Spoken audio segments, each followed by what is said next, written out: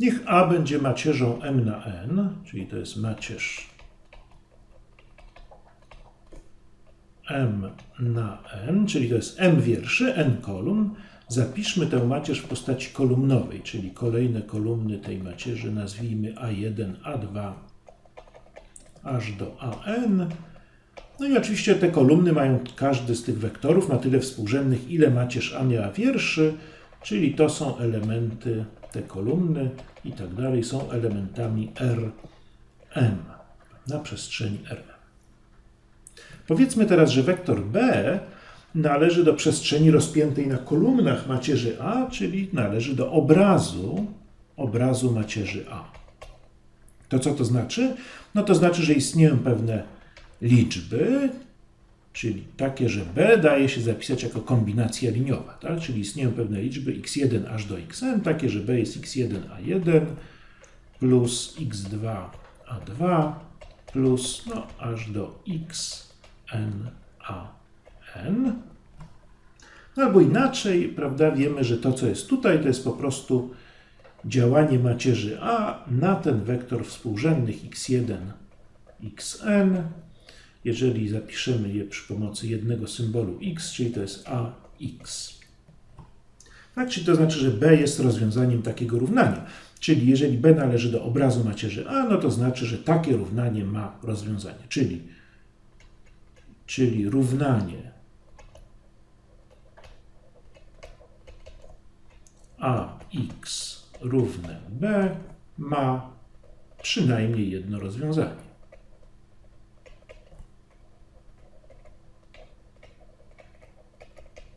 Jedno rozwiązanie.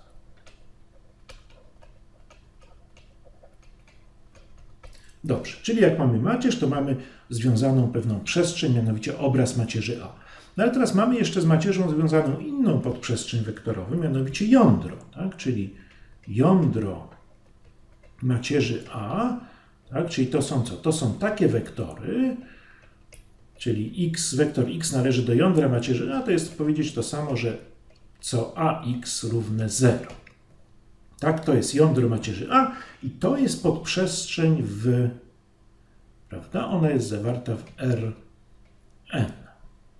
No i teraz wiemy jeszcze, że podprzestrzenie chodzą parami, mianowicie z każdą podprzestrzenią, w szczególności z jądrem macierzy, jest zawarta inna podprzestrzeń, mianowicie jej dopełnienie ortogonalne.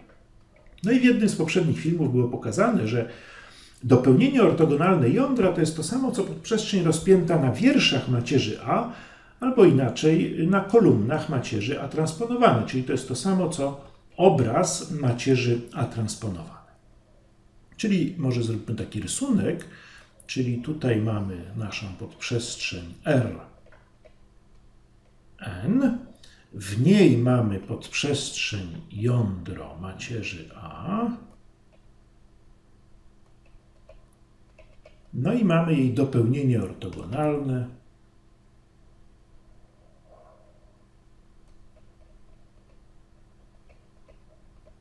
Dopełnienie ortogonalne, co jest to samo co obraz macierzy transponowanej.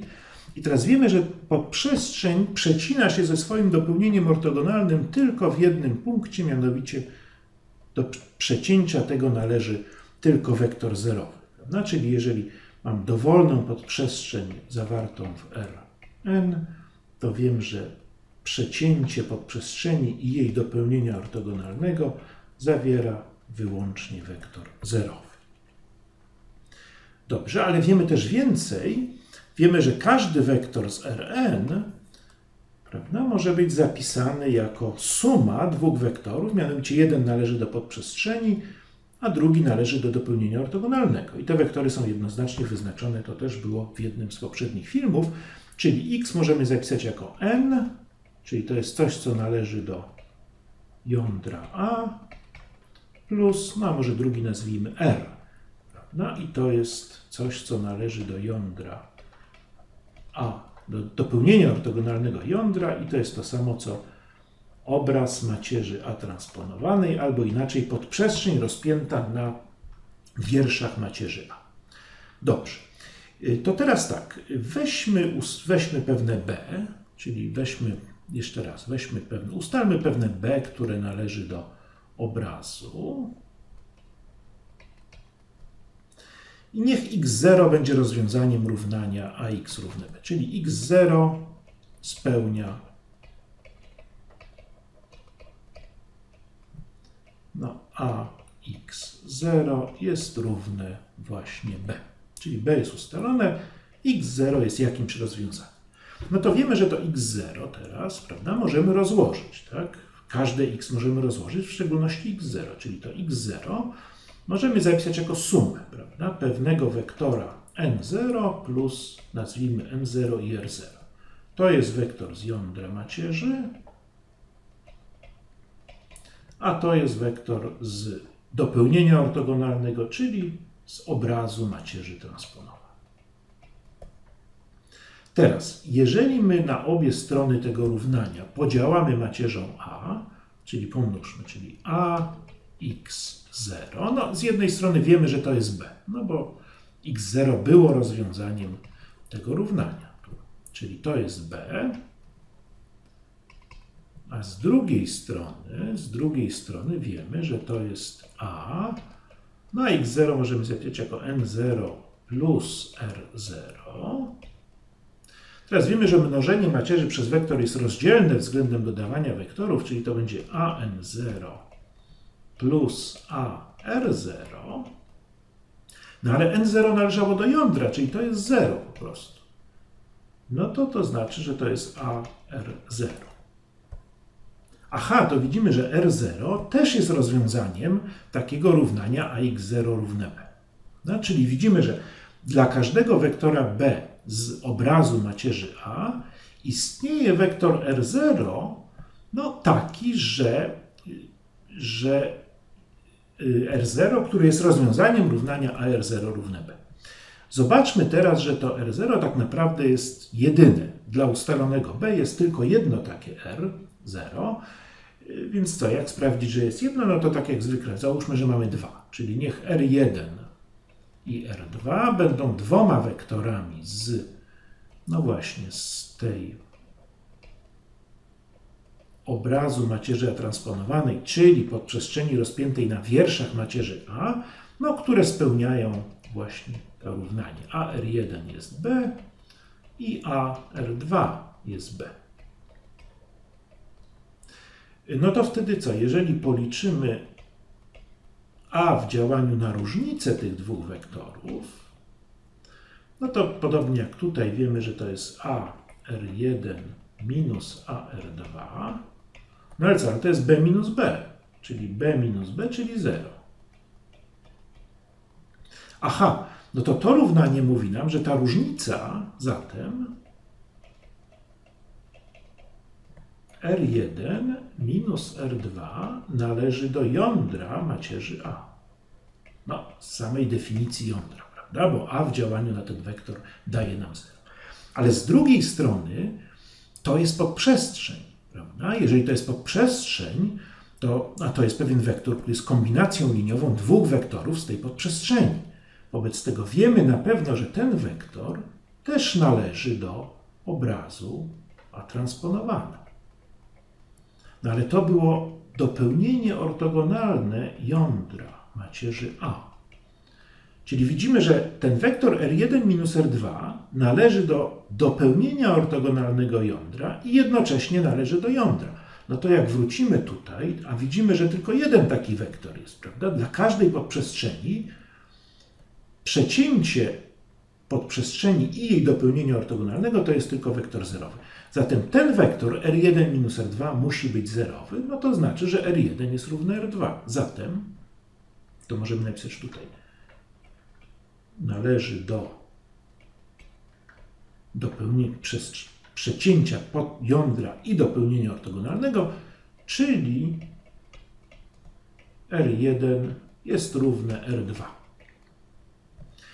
Czyli co otrzymaliśmy? Że dla każdego B Prawda? Czyli jeżeli takie równanie ax równe b ma rozwiązanie, to ma jedyne rozwiązanie, które należy do obrazu macierzy A transponowane, albo inaczej podprzestrzeni rozpiętej na wierszach macierzy A. Czyli może zapiszmy to jako taki fakt. Na fakt.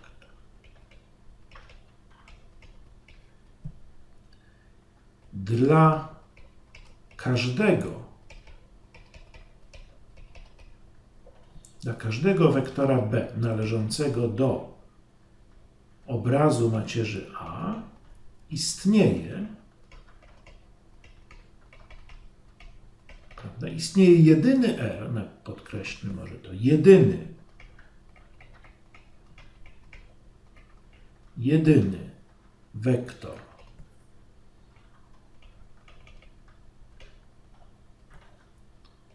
R, który należy do obrazu macierzy A transponowane, albo inaczej podprzestrzeni rozpiętej na wierszach macierzy A, będący, będący rozwiązaniem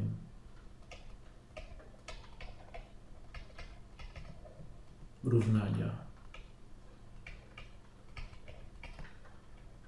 AR równe. Tak, czyli istnieje jedyne rozwiązanie AR y, równania AX równe B, czyli to jest właśnie to R, które należy do obrazu macierza transformowanego. No, jeżeli on jest jedyny, to pytanie jest takie, co go wyróżnia, prawda? Jak, jak go, po pierwsze, jak go znaleźć, a po drugie, no, przez co jest wyróżniony, że jest jedyny. No to zobaczmy. Czyli y, zobaczmy, co wyróżnia właśnie ten wektor, który należy do tego, do przestrzeni rozpiętej na wierszach macierzy A. Czyli co? Czyli jeszcze raz, popatrzmy sobie na takie, na takie weźmy dowolne rozwiązanie, ax równe b. Powiedzmy, że x jest dowolnym rozwiązaniem, to teraz x możemy rozłożyć. No właśnie, to r0 plus n0, to wiemy. I teraz policzmy długość x. Tak? Długość, no kwadrat długości, kwadrat długości x. No, kwadrat długości wektora to jest iloczyn skalarny wektora przez siebie. No to za x, prawda? To jest x. No to teraz zastosujmy tutaj to równanie, czyli to jest r0 plus n0 iloczyn skalarny z r0 plus n przez siebie.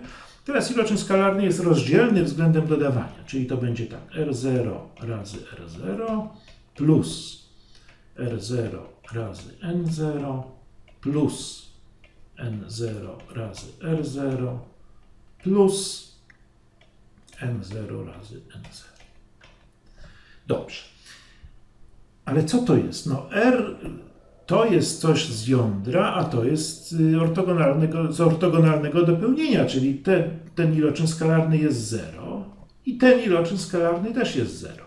Zatem, a co to jest? A to jest długość, to jest kwadrat długości R0. No a to jest kwadrat długości N0.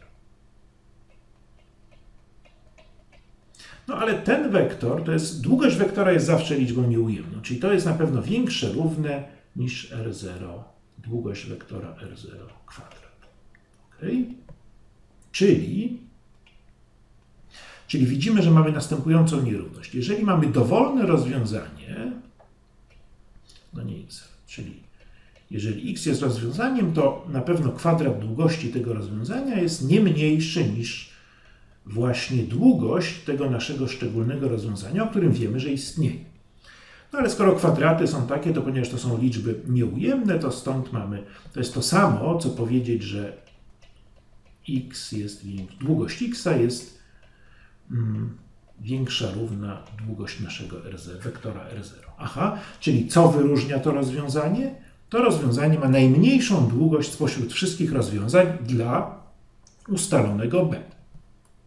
Tak, czyli możemy jeszcze dopisać, że istnieje jedyny wektor r będący rozwiązaniem równania a r równe b i ten wektor r możemy jeszcze dopisać i r i r jest najkrótszym, czyli ma najmniejszą możliwą długość, no w, w znaczeniu mniej, mniejsze równe, prawda? Może być tak, że jest tylko jedno rozwiązanie, wtedy to jest po prostu właśnie właśnie to rozwiązanie jedyne i to ono jest jednocześnie najkrótsze. I R jest najkrótszym